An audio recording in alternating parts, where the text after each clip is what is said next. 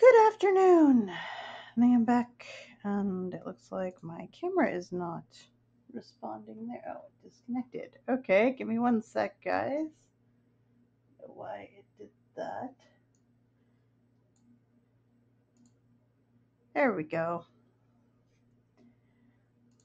Good afternoon, and welcome back. If you were in my stream this morning, um, I took a break. I had lunch I had tasty rice and bean cold salad that I made. The recipe came out really well. It was really good.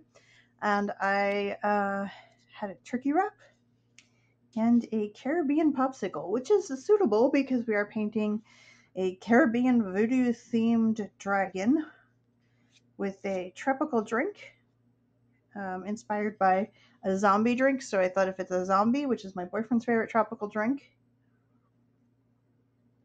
that um, that it could be a voodoo dragon. And that was sort of my train of thought. So I inked this yesterday. We started painting this this morning, and we're gonna uh, continue painting it. And unlike this morning, I have much better lighting because I was able to open the windows because it's not as sunny out. It's just sort of it looks sunny, I guess, behind me, but it's um bizarrely overcast, but somehow still bright out. So that's a little that's a little weird. okay, so I gotta work on getting the rest of our dragon's body painted. Get started on on that.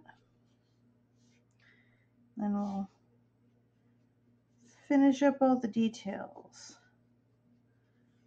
And I'm realizing I actually missed a little bit of my blue background. I missed these areas in here, which I had intended to at least have a little blue on. Now I'm going to finish painting the dragon's tail because I've let that blue dry, but I can work on the rest of his body.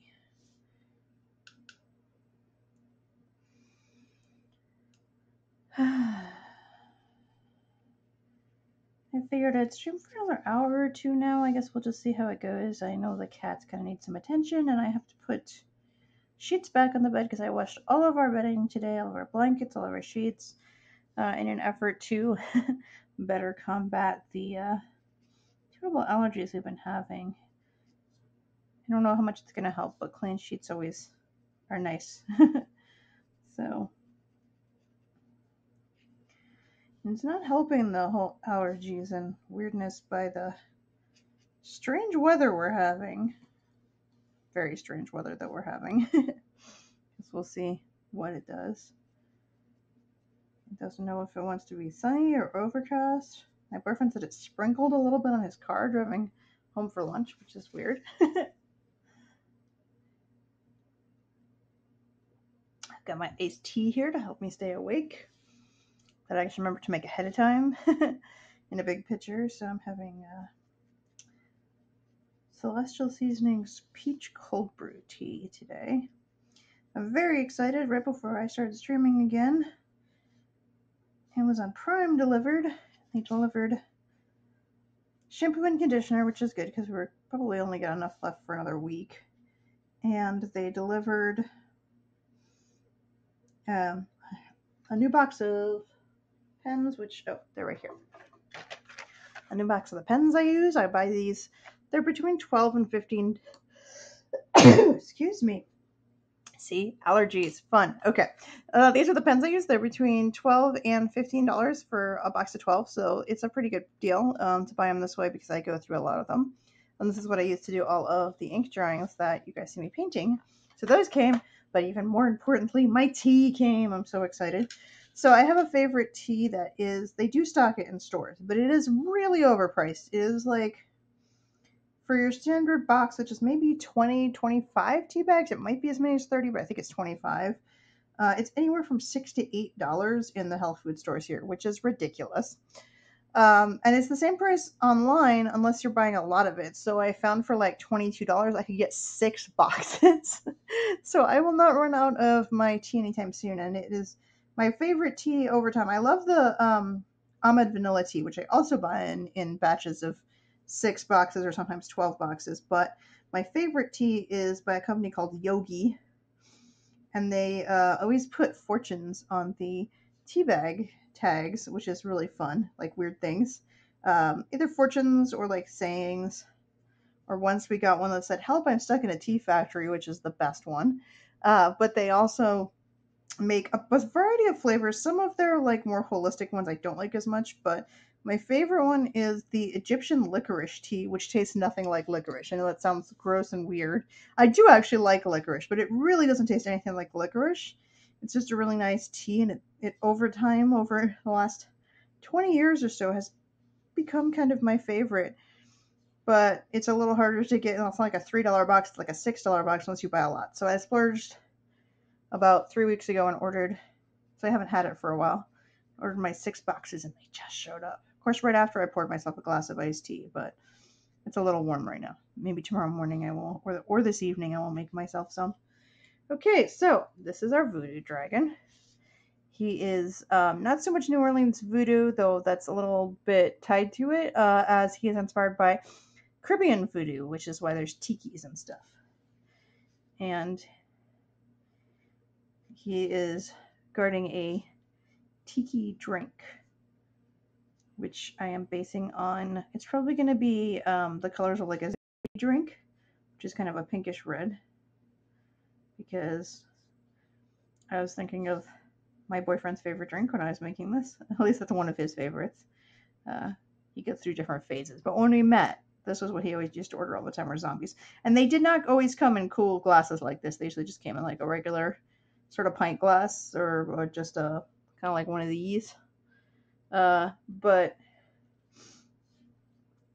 I felt if I was doing a book that had creatures inspired by drinks, I should include it. And I apologize for the sniffling. I'm not sick, I promise. It's just allergies. The doctor has confirmed this because Daniel got them way worse than me. So he's he's super medicated. He had to kind of not take them this morning because half of the medicines they prescribed for him yesterday said, do not operate machinery or drive vehicles with them. And he, didn't give him time off from work. They said it wasn't severe enough. So he's, uh, he's on the, the safer meds right now. And then we'll be back on those when he has the weekend off. I usually take allergy meds, but when I do, they make me really sleepy. So I like to do my painting and stuff first, and then later this afternoon I'll take some, but I have a whole list of random household chores I've got to do too. But I wanted to paint this guy. And I felt like the inside of his wings weren't standing out enough, so I'm incorporating some of the the reddish color from his his spine tufts, I guess, feathers, whatever. whatever we're gonna call them. Fluffs. His fluffy tufts. I don't know. These are definitely more feather inspired than they are scale inspired. Almost done with his base colors and then I get to do all the details. Both adding shadows and then we're going to add some highlights in white ink, which if you've watched me before, you've seen me do lots of times. Yeah, I could tell we're having like a really weird weather thing because like my ears hurt and it's not just from the allergies, it's the pressure system that's going through. It's really weird. I don't know what's going on with it. I don't particularly like it because uh, I'm very sensitive to weather pressure. So, yes, it is um, sort of a tropical voodoo dragon. I know we have several other tropical drinks in the book, but this one is probably going to be having a zombie because thus voodoo. That totally makes sense. In my head, it makes sense. There was a there was a connected train of thought when I drew this yesterday. Um, this morning we painted a mojito wyvern. I actually have an entire stack because when I wasn't filling up to streaming yesterday, um, even though I was having terrible allergies, I ended up take it easy and I lay down for like five minutes. I was like, nope, I'm gonna draw. So even though I wasn't feeling well yesterday, I did a ton of drawings. I did five drawings and even inked them. So they are all set for us to color. So this is number two. So I guess that kind of put me a little ahead on the art department because I couldn't do this morning I did a little bit of writing and stuff before I streamed, but it, it kind of usually I try to balance it more than that and ended up getting kind of ahead on the art side of things because that was what I was up to doing. So I still have to do his whole tiki voodoo staff here too. Not to mention some shading, but his basic colors are there. I think they're showing up better now than they did in my earlier stream because the lighting was a little weird. It was super sunny out, so I had the curtains pulled, but then I don't know, something with the indoor lighting it doesn't work as well even when I'm using my my drawing light, so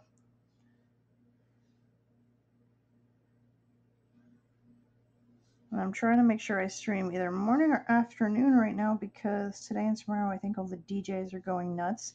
the only way to describe it, the DJs are going nuts this weekend. There's so much stuff. I could listen to like five hours of music, six hours of music tomorrow night back to back if I wanted to. There's so much stuff going on. And those are all of our, our local Tucson, Arizona DJs. They're all doing a ton this weekend. One of my good good friends uh, and favorite DJs finally gave in and started streaming. Uh, another victim for us to harass on Twitch. So he's added himself to the mix. So I'm very excited about that. He did a Revenge of the Fifth Star Wars 80s pop party the other night, and I think he might be doing Mutiny this weekend, which is another one of our local nights here where we just do like weird music videos with alternative stuff, and it's just another fun fun thing we do here in Tucson. So, uh, and another one that I missed was Fine Line, uh, which is sort of alternative 80s goth uh, music night that we have here. I guess is the best way to describe it. And they started streaming that the last week too. So now we have, I think tomorrow night we have like three different events going on back to back. It's nice of them to coordinate so they're not overlapping too much. And then um, we have another event tonight too. So I'll see which of them I'm up to, depending on how many allergy meds I have to take. But since I don't have to get up at 5:30 tomorrow morning, I might actually get to attend stuff.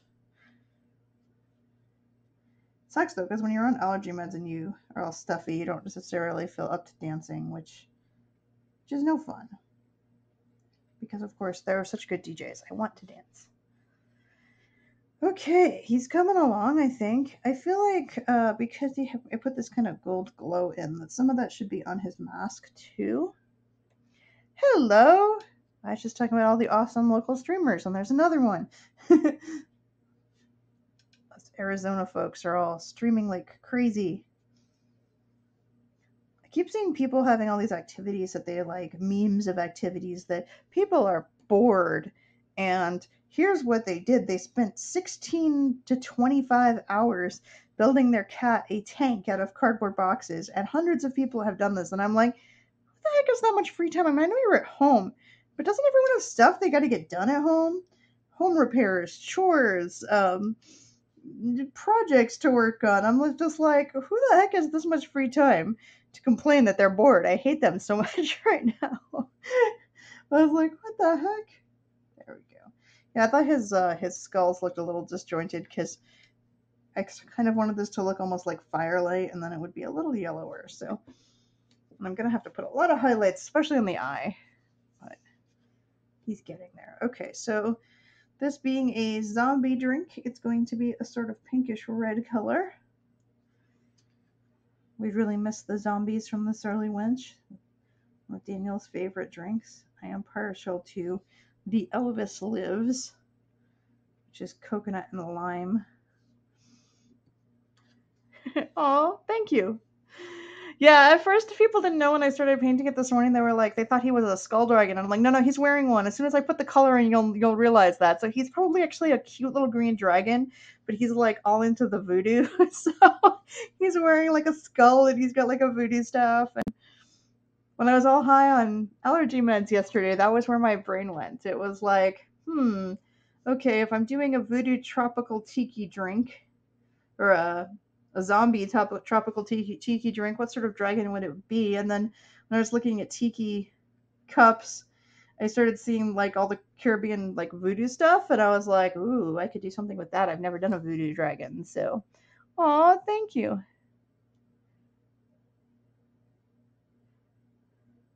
I don't think I've been bored in a really long time. I have to be like sick and unable to do stuff. Um, so I have to like lie there, but too maybe too sick or whatever to sleep. Then I could get bored. That's kind of the only case where I'm gonna get bored. Um, there's just too much stuff I want to do or need to do. I just don't. I do find some tasks for work, like I can get find mailing stuff really boring after the first 20 packages, so I just make sure that I only do a certain number per day. After this, I'm going to mail stuff, and I am going to remember that there's sheets in the dryer that are clean that have to go back on the bed so that we will not go to bed tonight and just be like, there's no sheets on the bed. Because that's happened before from both of us, so. Banjo Kazooie? What is what? Okay, what is Kazooie? I get. I know what kazoo is. I don't know if I know what Kazooie. is this like a specific uh, band? That's probably it. Oh, the game. Okay, I am vaguely familiar with the game. Actually, the things that most remind me of Caribbean voodoo are um, there's an Agatha Christie mystery that they've done a couple of of uh, versions of on film that it might just be called the Caribbean mystery. I know there's one that's like the Caribbean one, and there's another one, but she's um, staying at a resort in the Caribbean for her um, her rheumatism, ends up solving a murder, and then uh, the entire Death in Paradise series because that's all murder in paradise and and beautiful tropical locations. Yes, I watch a lot of murder mysteries. Uh, and then I also am a little bit reminded of Monkey Island because there's a little bit of a tiki vibe to the cannibals in the Monkey Island video game series, which is still one of my favorite video game series of all time. Oh, well, I'm glad I probably didn't make the dragon pink. I don't want to be too similar to something already out there. Okay, got a lot of similar colors here, but I gotta do the little bit there. I have to do some cleanup with white ink. I have a little red that bled because I hadn't let the face dry completely, but that's easy enough to fix. Okay, and then I need to do this, which is an orange. See, I was showing them on my earlier stream, but I can show them again. I'm going to have to let this dry for a minute anyway, so I can show you guys the uh, the assorted craziness that happened yesterday. So apparently when I just draw dragons, because I've done so many, I'm really fast. So it's just like watching TV on allergy meds. And Daniel came in and was like, how many pictures have you done? And I was like, oh my gosh, I did like five ink strings. So this is the uh, dragon we painted this morning. He is a mojito wyvern. He's wrapped around a mojito with mint and lime. Then, still to be painted, as voted on by Patreon subscribers, the Sipper Serpent. He uh, likes to, he's a worm dragon that likes to taste everyone's drinks behind their backs. And then uh, we knew this one was coming. I'm going to talk about this one for a bit. The Sophisticated Cocktail Drake, who's going to have a cosmopolitan in the picture. He's a very uh, sophisticated, elegant dragon. And then the big one. So, you know how some dragons they hoard treasure? This guy is hoarding tea bags. because I am very weird. Um, and because of the theme of the book. So. he should be purple. Which one should be purple? This guy or the one? Which one of the dragons? because I did the mojito dragon in purple because I was trying to contrast the the minty colors. The Sipper dragon, I think purple. I don't know. I think he might be uh, he might be red in my version. I haven't done a lot of red dragons for the book, so I think he might be red. Though I could do the the teabag hoarder is red. I feel like that's a little a little cliche. Do you like the big red lurky dragon on top of the pile of treasure? But yeah, the reason I wasn't streaming that much the last like week or so, we just really weren't feeling well. We've just had, I've been been trying to get back to it uh, at least every other day, but I'm now I'm trying to do it every day if I can. But at least every other day. But yeah, everyone kept trying to be like a little bossy on Facebook and diagnose what was wrong with us, and I was like, we have allergies. Daniel's just having really bad allergies, and then um, he stayed home from work yesterday because he was in so much pain. Took him to the doctor, and lo and behold, we have allergies. uh, and they said that basically he's just got because he had sinus infections and we had all these other colds. He just really, really bad ones. So they gave him an allergy shot and like a ton of different meds that he is on now.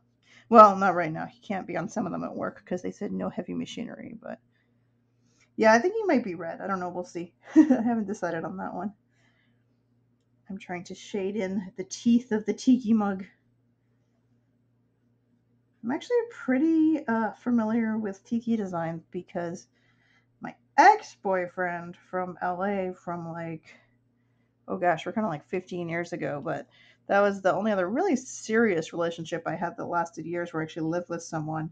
Um, he was obsessed with tikis. He collected them, and I actually sculpted a tiki for him once. So I a tiki mug. So I learned a lot about tikis. But I still love them. It hasn't ruined my love for them, even if he turned out to be a jerk. so, uh, here's the reason I was never going to live with anyone again. And then Daniel came along, and honestly, he was here all the time anyway. So then he just eventually, I was like, dude, just bring your stuff over. This is getting dumb. I think that's about the time you should move in with someone when they're just pretty much there all the time anyway. Um, otherwise, I think it's rushing things. But I think if if you uh, if you're spending time together anyway, then it works out okay. Especially if you can totally respect each other's boundaries. Like we do a lot of separate stuff, though. We've been playing a lot of Stardew Valley, and I wanted to stream some of it, but I wanted to get my headset so that we could use push to talk. So if we were either both streaming or both on there, we could um, kind of both have a way to talk. Because he has a push to talk headset, and we found one for me finally that wasn't super expensive. And I don't know what happened. It got like super delayed. It's supposed to be here Monday, so we'll see if that eventually happens. Because right now I'm using the um, the microphone in my camera, and it's the the camera I'm using for the art because it's pretty near my face. It's actually like right here. It's just out of the the vision of the other camera, um, so that it can be over my paper, so you guys can see what I'm doing. So that means I'm close to the microphone in it, but if I'm streaming a game or digital painting, I have to wear a headset. And the one I have is just, it's more like a DJ headset. It's very, very clunky. And this may not be apparent from streaming, but I have a tiny head. Like I put on Daniel's hats and they stop because they hit my nose. so, uh, for whatever reason, I have a tiny head, tiny jaw, like a child sized head. So, headsets, even on the size adjustable ones, they tend to be very heavy for me. But we found a nice lightweight one that I really, really like. I'll still use this one for music and stuff. It's just, it's not great if I'm going to be streaming art on the computer uh, because I still kind of bend over my tablet a little bit, so it just ends up being ends up being awkward. Uh, I've done that. I just end up with headaches, so I'd rather rather not do that. And just working on all the details of this guy. I kind of feel like he's like a little raptory kind of dragon for some reason, like a little little baby velociraptor looking dragon.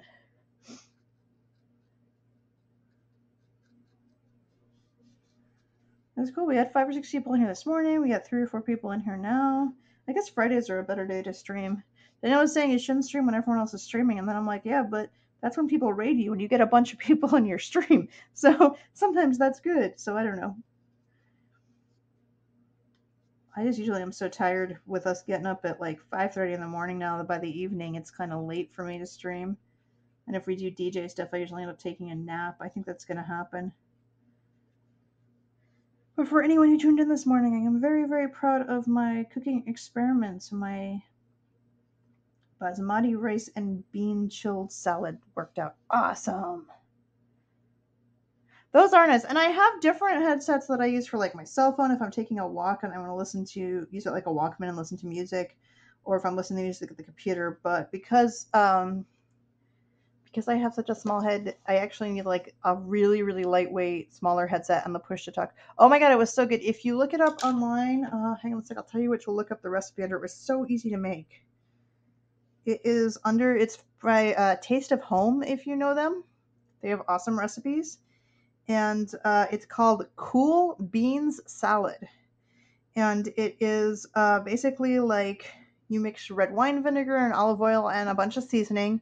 And then it's, if you have a rice cooker, it's super easy. You have uh, basmati rice, and then you have several kinds of beans. You have like fresh cut up like red pepper and little green onions, so it has some crunch. Oh my god, it was really good.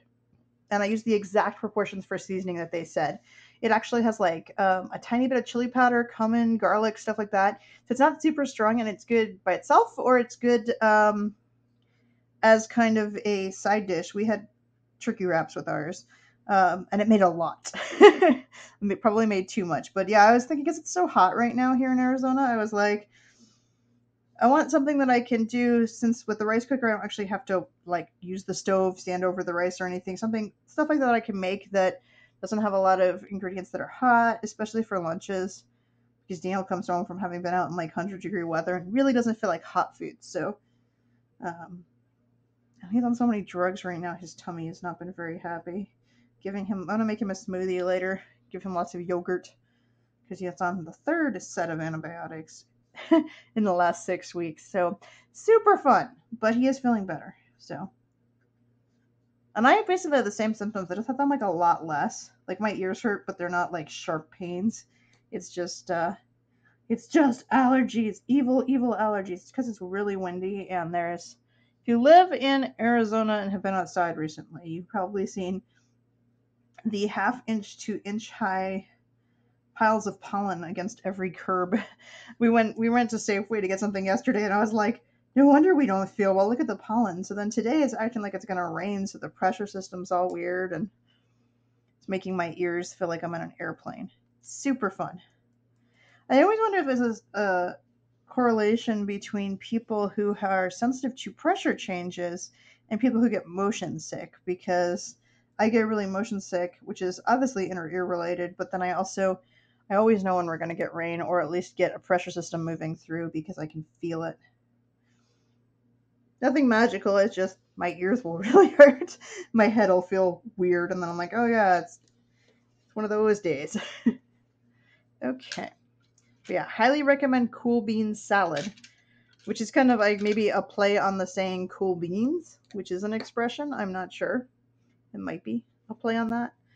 Um, but yeah, I was pleasantly surprised. Sometimes the recipes I try, I'm like, oh, this is this is not bad, but it's got too much seasoning or something for me. But but Daniel kept making fun of me because I am not originally from the Southwest, and uh, being from the East Coast and having parents from the Midwest and from New York City, I grew up pronouncing certain words differently. Oh yeah, you can get like knee aches when it's to rain too, and you can usually smell it. Um, here you just have to look and see if the humidity is spiking too, because we never have that much humidity. So the minute it starts spiking, you know rain is coming.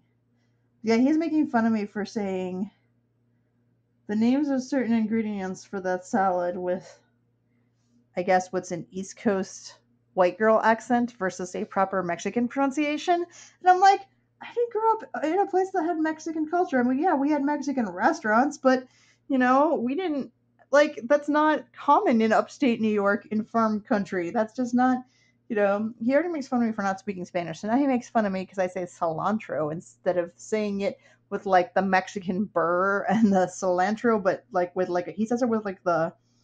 I can't do the rolling Mexican R correctly apparently, so for the Spanish I don't know if it's a Spanish word. That's just the name of the plant, but there's a way of saying it with the Spanish accent that I that I don't do. So he was just like, "Say it again," and I'm like, "Stop doing that!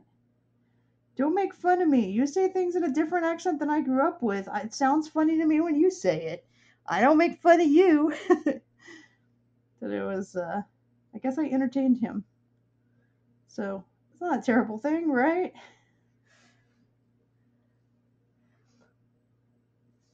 Uh, yeah, I didn't I didn't grow up in a Spanish speaking community, so a lot of folks here are bilingual and they speak both. And most of the kids I grew up with were learning French because we weren't that far from Canada, and a lot of people were bilingual with English and French.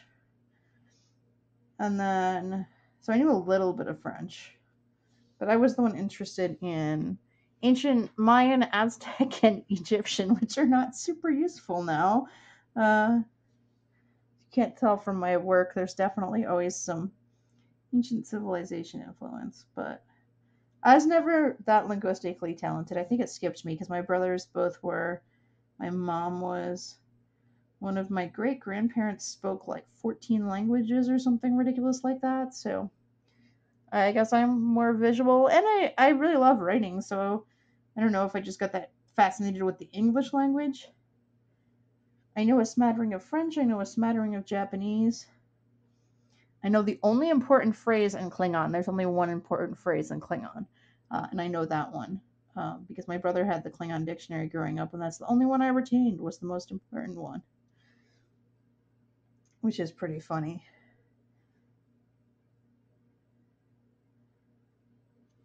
Wow, there were just were not as many Spanish speaking folks where I grew up. A lot of my friends and my brothers were fascinated with Asian languages, so I was around Japanese a lot more than I was around Spanish. And so my mom took a trip to Mexico and then she started trying to learn Spanish really rapidly, so the only things in our car were like Spanish uh, linguistic CDs and then the sounds of different tree frogs. She was trying to learn to identify frogs by sound. My dad would get so mad because he'd, he'd get in the car and six CD changer, and none of them would have any music. It'd all be super weird educational things. I think he's coming along pretty well. I'm just trying to add highlights where they're needed to really make things pop. I think I might have done that too much kind of around his eye in one spot though. I'm probably gonna find my pens here and fix that. Can't say do I say it right? Paprika? um, I had a friend, she doesn't live here anymore, but she was in school here at University of Arizona when I first moved to Tucson 12 years ago who had, uh, because of where her parents were from, she had a Welsh Cockney accent. And we were always trying to get her to say words like helicopter because she would say them so I can't even mimic it. It was so weird. So if you were around her a lot, like I, I was, I had no problem understanding her. Like I learned how to kind of just easily attuned to her accent, but a lot of people would just be like, "You need to translate. We don't know what she's saying," uh, because her accent was like just that thick.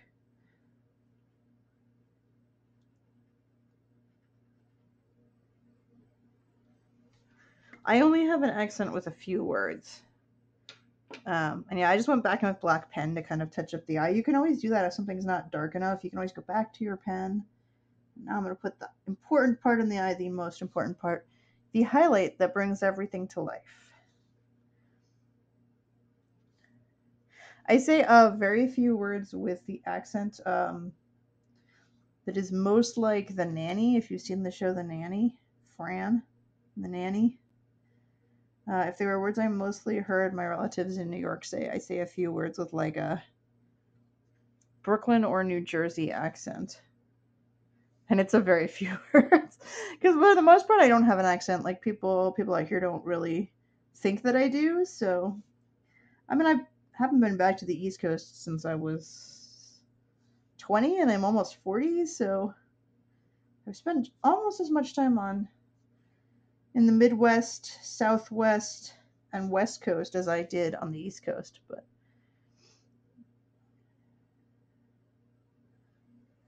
can't remember what I was watching. I think maybe Daniel was watching something on YouTube with someone who couldn't say a word right, and it was pretty funny.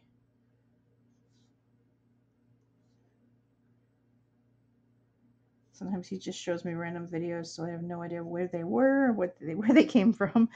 Um, I'm not always good at keeping up on memes and things. You'd think I would be because I do a lot online, but honestly, I'm so busy with projects and Patreon and Kickstarter and those things that um, I don't end up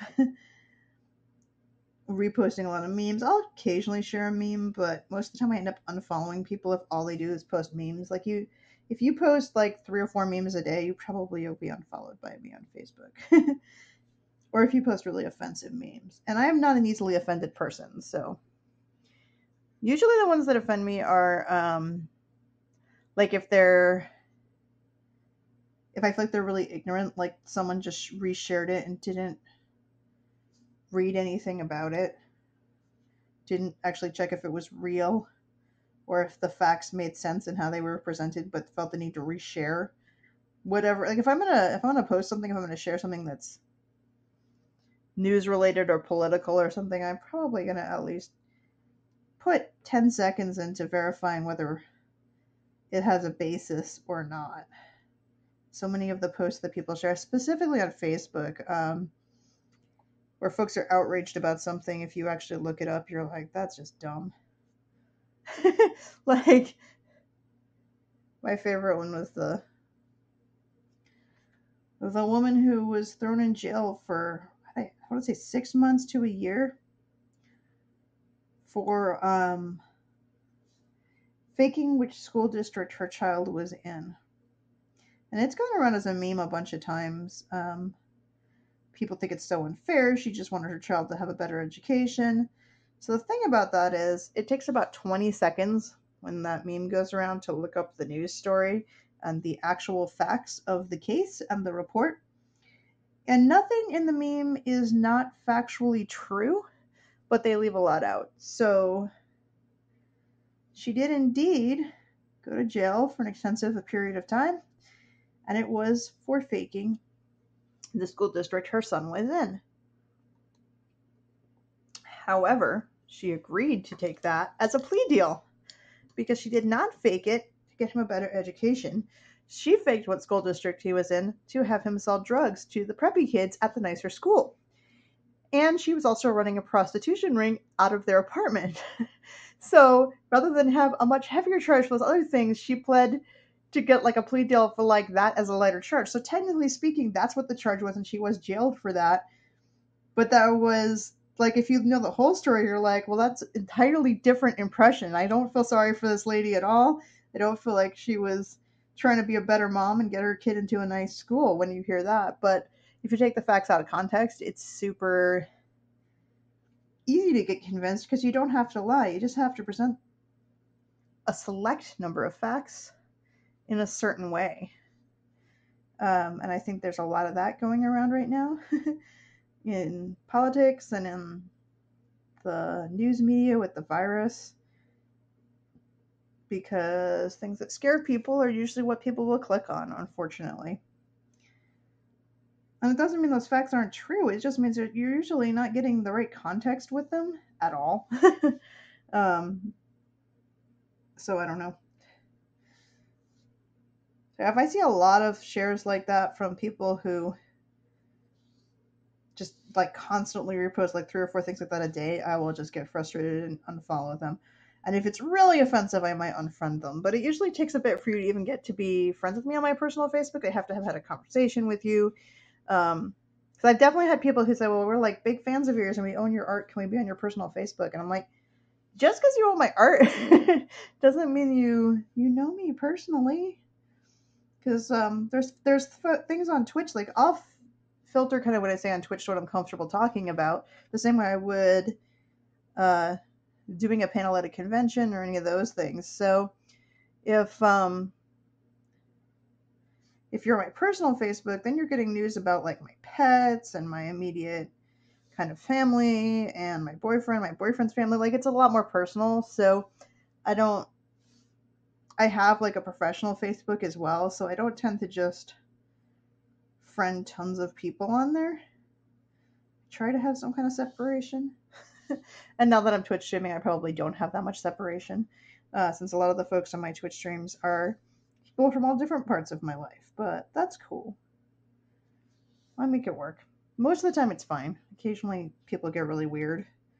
I think I was talking about this in another stream where you always make sure if you're if you're working in an event, you always know where either the store manager is, or if it's a convention, who the convention security is, and where they are just on the offhand that you or someone else either has a shoplifter or is being harassed by someone.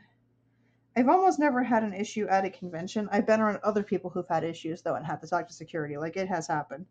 Um, I've definitely had people make me feel uncomfortable at conventions to the point where if they hadn't left, I would have talked to security, and it it was just a not respecting of personal boundaries. Uh, usually that's not a problem because I usually have a I'm behind a table, so there is a physical boundary there. But occasionally, got people who think it's fun to like run around a table while you're painting and hug you, even if they've only met you once before and you have a brush and wet paint and things going on. So I try to kind of make it harder to come around the table so people have to actually ask me and I have to stop painting and choose if I'm going to hug someone. That's always good, right? and of course, right now we're not doing any sorts of hugs or conventions. Our uh, summer one got bumped to November because that's kind of up to the hotels and they were a little concerned that June might be too early for a convention. So they, even though we are starting to do a little bit of a reopen here in Tucson, so the only issue with it getting bumped to November is they they were very good and did not pick a weekend that conflicted with our other conventions. But what that does mean is I now have three back-to-back convention weekends in November. Um, two of them I would be vending at, and then one of them I would be well, actually, two of them I'd be vending at, and then two of them I'd be guesting at. So there'd be like a, one I'm doing both at, uh, I think. Though I haven't heard any details about it yet because I think everything's on hold right now until we find out for sure for having conventions.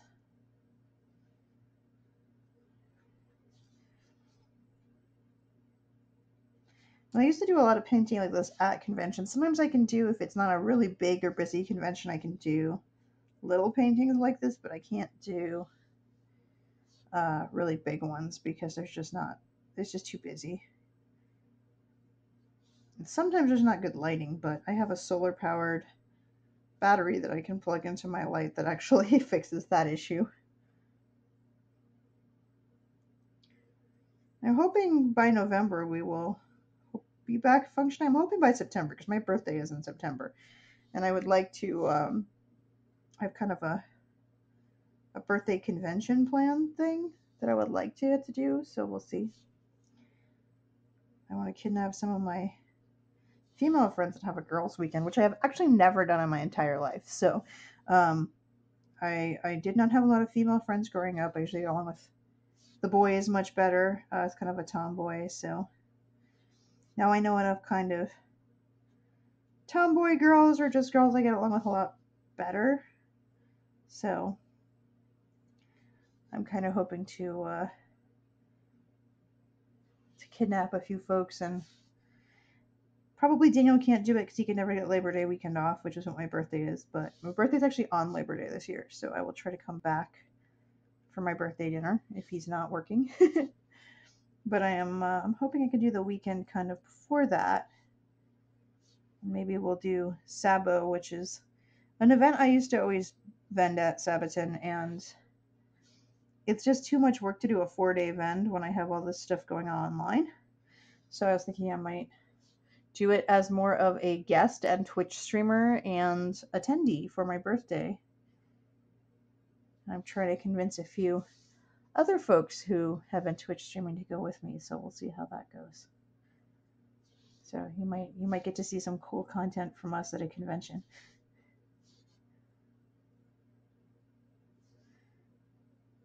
And that's one of my favorite conventions, even though it's not really viable for me to vend there just because like four days of sitting there.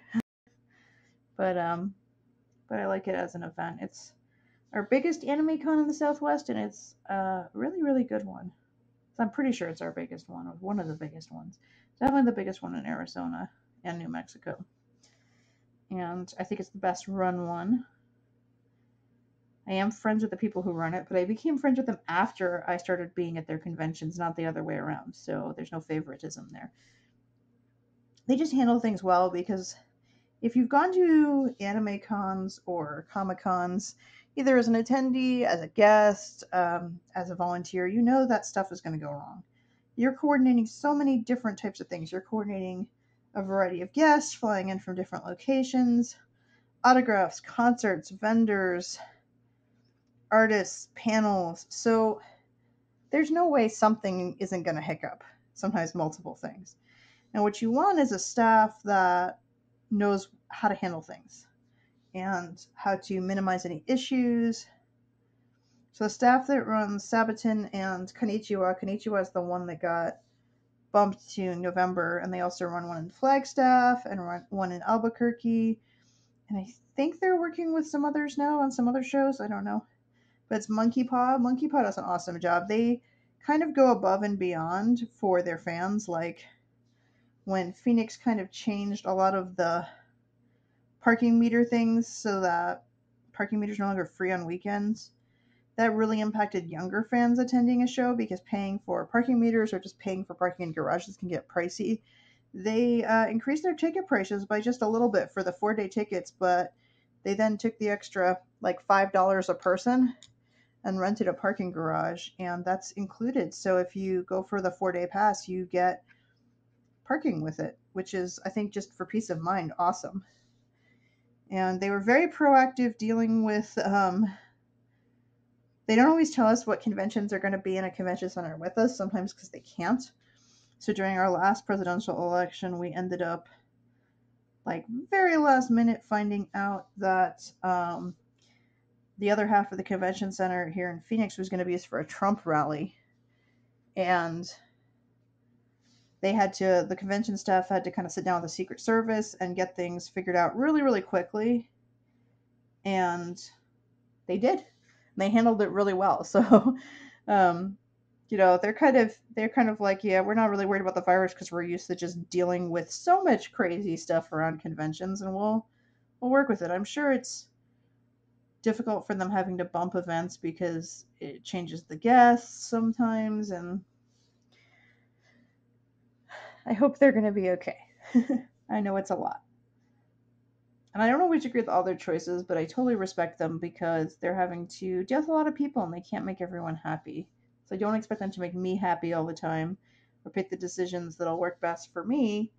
Um, but I respect the business that they run and how will they do it and keeping people informed and if there are problems or things that go wrong trying to fix them right away which i think is so important and coming from kind of la before i lived in tucson I lived in la and then i lived in flagstaff and then i lived in tucson um, a lot of the bigger california shows they really don't care about the the vendors or the fans in detail because they've been around for a really long time and people will always go and they just don't feel like they have to ever improve the experience because they won't make more money by doing that. They are already selling out all their tickets, so why change? And that's a very sort of corporate point of view versus conventions that are run by fans for fans, people who want you to have a good time and be happy. So I've always tended to go more for the ones that are taking care of my fans who are there uh, and helping me get new ones, and who are being kind to vendors and giving us good information. And if there's hiccups, trying to improve things for next year or do everything they can to make them to correct for the issues. So I just feel like I'd rather support those sorts of conventions than ones who say, hey, if you don't want to write us a physical check in the mail because we're never going to take online payments because we've been doing it this way since the 70s. I've actually had this conversation. Uh, it's okay, we've got a waiting list for an artist table, and somebody else will just take yours. And I said, that's fine, somebody else can take mine. That's your attitude. Like, that's just silly. That's not how you treat a customer or anyone else. so, yeah, I've definitely cut back on like the the LA, California shows and I don't really like going back to LA. I don't love the traffic. I think if I get invited as a guest, I could just like fly in and get chauffeured around in taxis or or whatever. It would be a different situation. Um, but I don't like the drive. It's about eight hours from Tucson to LA, and it's not a gr- very interesting or pleasant drive. The drive from Tucson to uh, like Albuquerque is only about six and a half hours, and is very interesting. You get to do see a lot of cool scenery and a lot of interesting little towns and landmarks. But the one from here to LA is just not. I don't miss that drive uh, at all. So it would take a lot of fans requesting it to get me back at those types of shows. Um, just because I feel like it's not the best experience for some of my fans either. They want to come see me and they can't even find me because events are big and the, the numbers of the tables aren't handled well at some of these and they don't give you a good enough map and stuff like that. You think you'd think with the technology now, I mean they put the maps on your phone and everything, but they're just not great at uh at those little details because they've kind of always done things the way they've always done things and people go to those conventions because they have big fancy names and well, that's fine. If you want to see the biggest guests and the biggest, um, you know, movie stars and things, I understand that. It's just, I don't need to be a guest at those. um, I don't need to be a vendor at those if they're way more expensive and way more exhausting, but we don't necessarily make any more money and end up behind on online work for Patreon because they're too tiring. And yeah, I don't miss those. I haven't even been doing Phoenix. Uh, I think it's Fan Fusion is what it's called now. I haven't done that the last couple years, the last three or four years. Um, again, because people couldn't find me there, and I didn't feel right telling my fans to spend like 80 bucks on a ticket, giving them a six-digit number to find my booth or table. That seemed pretty bad. So. uh, it just didn't. And then, and then that that was so crowded downtown in Phoenix that we couldn't like hang out with the other artists or writers or guests and have dinner or anything because it was just be kind of miserable. So I would go back um, to do panels again because I like doing those, but only if I get asked as a guest. So tell people who want me at events, you gotta tell the event because they'll look for how many people request someone in order to invite them to something.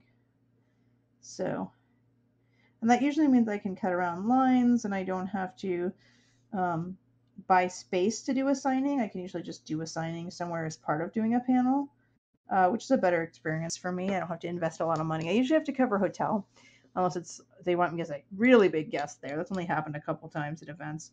Uh, but I usually have hotel points. So that's not not an issue. So yeah, if you want to see me at something, tell the event that you want me there. Because I would love to do like some of the other conventions in New Mexico too. But again, it has to like be worth it for me to do that drive or flight. It usually means enough people have to want me there.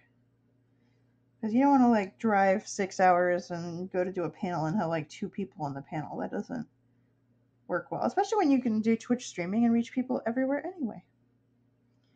Okay, I think our tiki guy is just about done. Trying to think if he needs anything else. I think I might put some uh,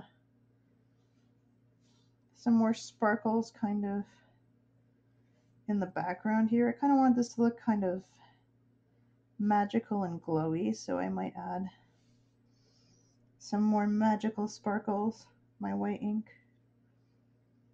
A few more highlights on his hand wouldn't hurt either pretty close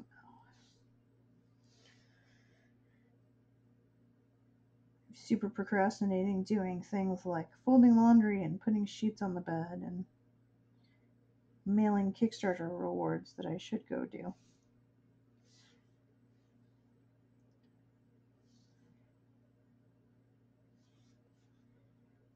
Sparkle, sparkle, sparkle. Little highlight there. He has another wing back here. It's just, I painted it in pretty dark because it's kind of in shadow, so just making sure it stands out at least a little bit.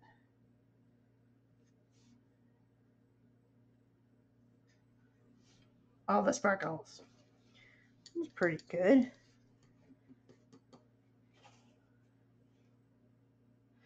I've never done South by Southwest. I don't know that one. Um, I mean, I think I've heard of it, but I've never been Never been asked. I've done San Diego Comic Con plenty. You probably couldn't pay me enough to get me back there.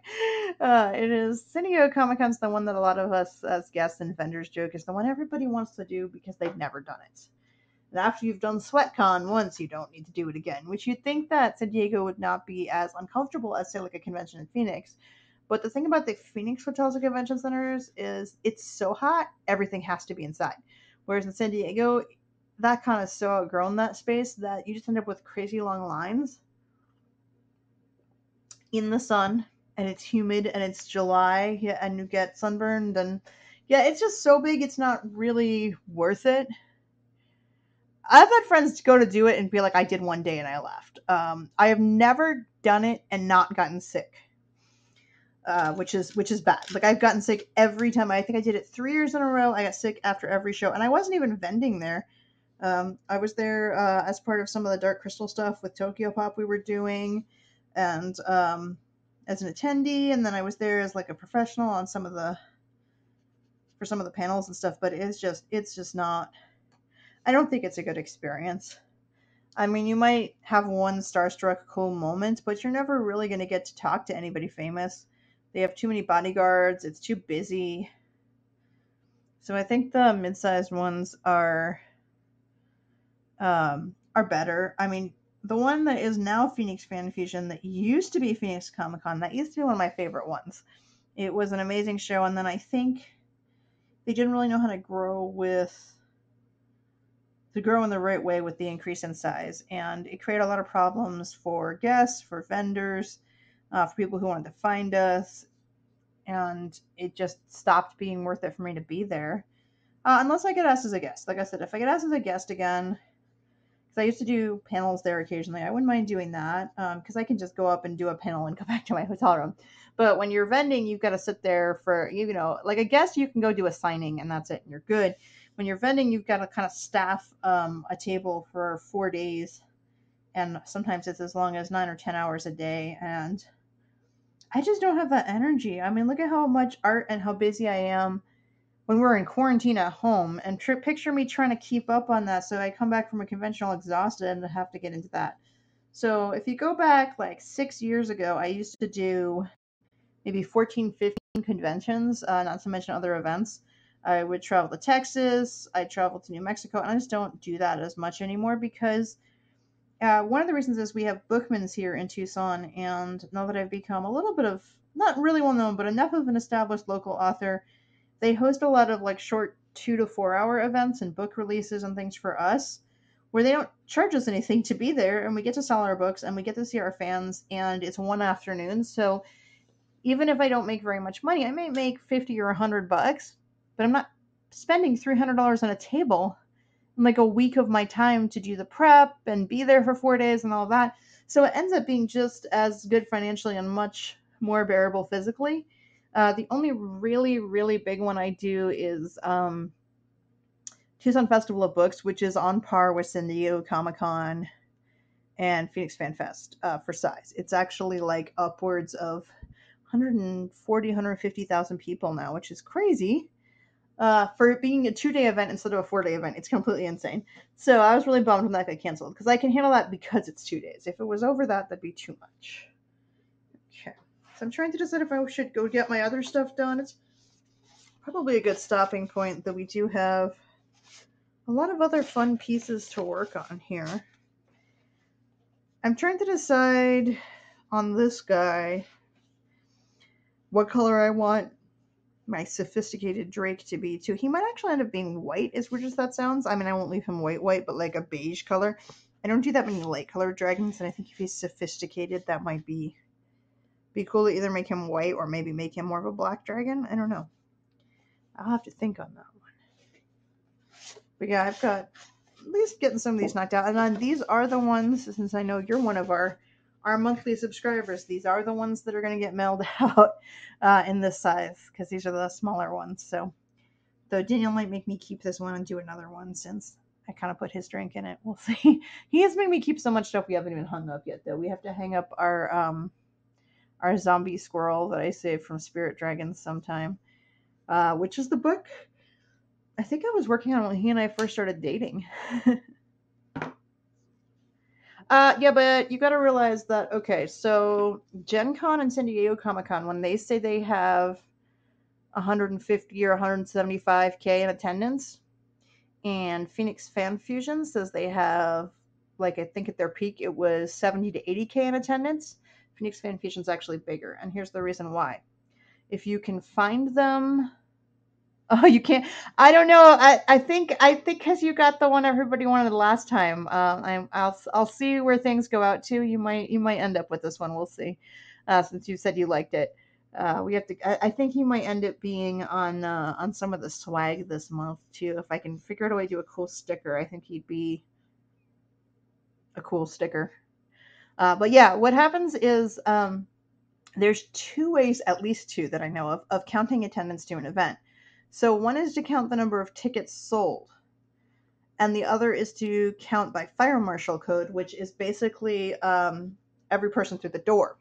So San Diego Comic Con, Gen Con, and many of the other big like Wizard World, they count uh, using um, fire marshal code, which means that if you buy a three day pass and you go for three days or a four day pass, you go for four days, you're counted for each day. So you get um, counted four times. Versus if you are looking at like the way Phoenix Fan Fusion used to do their numbers when they said they had 70k, they were talking about ticket sales plus staff and guests. So whether it's a one day ticket or a three day ticket, you only counted once. So it actually ends up being, and then if you look at the fact that, I mean, I assume with Festival of Books, they're just because they aren't even selling tickets, they're counting. Uh, they have counters out there by the entrance. They're counting for like the per day for the two days. So they're counting more like Gen Con or San Diego Comic Con would be. But the fact that they're getting numbers almost as high and it's a two day event is meaning it's a lot of people. And it's a free event. So it's kind of crazy. So um, some of the shows are like, comparatively speaking, they say we're bigger. And I don't know why they think saying bigger is better. It's really not. Uh, I used to love Anime Expo in LA when I was 19. I started going, and it was 20,000 people. And I think I stopped going when it passed 60,000 people, and then it moved downtown, and it was terrible. uh, downtown is not LA is not a good place for a fan based convention. It was great when it was in Anaheim because you had Disneyland hotels and restaurants and things to kind of accommodate fans and their families. But yeah, I mean, there's different things too, whether you're attending or or vending at something, and of course, what you like at a convention is going to vary. Like we have a convention here, uh, TusCon, which I love. It is probably one of my favorite two or three things I do every year. And people either love it or they don't like it at all because there isn't a lot of cosplay. It's only 500 people or less. So it's a very different type of show. But if you want to go talk to Jim Butcher, who wrote the Dresden Files, or um, the writer of like a new series, like that's where you're going to get to do that without bodyguards. You know, um, if you want to ask George R. R. Martin a question and he's their guest of honor, you're going to get to actually ask him your question because there's only going to be like 50 or 100 people in the room with you versus three or 4,000 people. So that's my favorite one because you get to talk right to the creators and also because um, and I don't know if you ever checked out my stream, but shout out to Joe who does this. He's awesome. He's on my Facebook. Joe, who plans their panels, he kind of makes it his job never to really do the same panel twice. So all the panels are way more creative. And if you are a writer who guests at conventions uh, and you have a certain niche that they put you in, um, I think my friend Jenny told me that she and April Lynn have been on the same YA urban fantasy that uses fairies panel at like 12 conventions in one year. Like it was terrible. Um, and it's just not that interesting. Whereas uh, they will just pick like the weirdest thing. I got to do a really awesome panel with an award winning poet on um, subliminal and subconscious creativity and subconscious writing, like how you process things in your sleep and then how you wake up and document them or like how some people get ideas in the shower, stuff like that. So it's like really fascinating about how you let ideas sort of like marinate in your brain and then and then suddenly have like a finished thing when it comes out like you know exactly what it's going to look like. Uh, so it was really cool. That was an awesome panel. Um, when we were doing that panel i was really bummed because i had to get to it like a little early when you're a panelist you have to do that. So i had to run out of the last 15 minutes of a panel some friends of mine were on. They were doing one on um, kind of ghosts and i can't remember what it was called but it was like kind of ghosts and supernatural in the southwest. And it was a big panel they had like eight creators on it. And what was so awesome is they put uh, folks on it who were believers and folks on it who were skeptics and they let them argue which was like it was one of the most fun panels because uh, they it was getting very heated by the time i left and i was like darn it i was watching my friends about to have a fist fight. This was going to be awesome. But that's like the convention where like if you're at even like a show in phoenix or in san diego they're too big to do a lot there's too much networking whereas TusCon, you can actually just go hang out at the bar and have drinks with some really famous writers and have a normal conversation with them, which is super cool. Um, and it's something that has been around us. I think this is their 37th year, I want to say. It's been around a very long time. So I've always been super honored to be a part of it. Um, I've been doing it for I want to say like 10 years. Um, so yeah, if you some people love it, some people don't because what they're looking for is different. If you want a big Comic Con with tons of amazing over the top cosplays, then you're better going to either San Diego or honestly, my number one c- convention recommendation if you want a Comic Con right now is Tucson Comic Con. Uh, last year they had the best costumes I've ever seen at a convention. And I don't mean they were the highest budget because you see a lot of people do really expensive, accurate costumes. I mean, they were the most creative costumes. I saw people doing costumes I have never seen before, which is super rare. You might see one of those a year at some convention. You wouldn't see 10 of them in a day. Um, there was somebody who did Fievel from Fievel Goes West with a cactus. Yes, there was a person cosplaying a cactus. It was amazing. A cartoon cactus, not not just any cactus. Um, there was Empire Records cosplay, which is one of my favorite movies from the 90s and is not something you would ever expect to see. Uh, there were probably the most believable Indiana Jones and his dad I've ever seen. Like, there was just like the biggest variety of costumes from all walks of media that I think I've seen at a convention in years. And the weird thing was the year before there, we didn't really see that. It was like everybody stepped it up last year. So I'm hoping I'm going to get to go this year. I was a guest last year.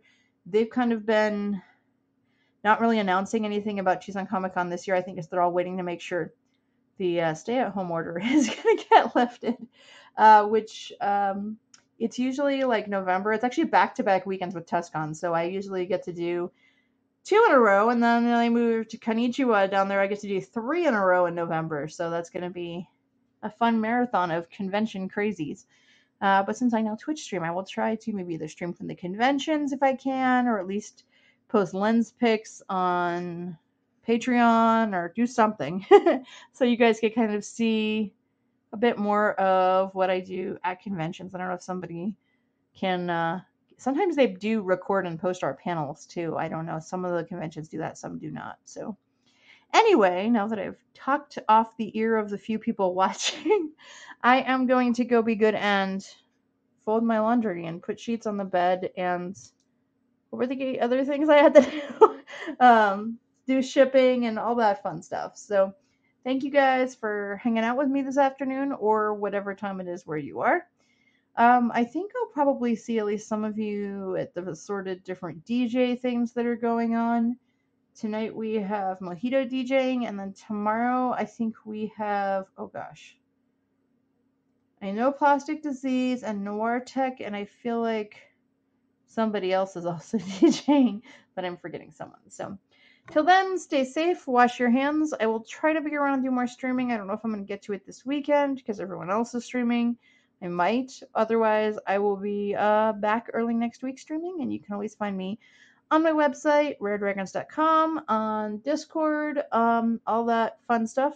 Drop me a line. I'm going to be doing commissions. Uh, live on the stream pretty soon as well. We have a bunch of those that I just got deposits on. We have concepts approved on at least two, so you could stay tuned for that awesome stuff soon and for more of these guys.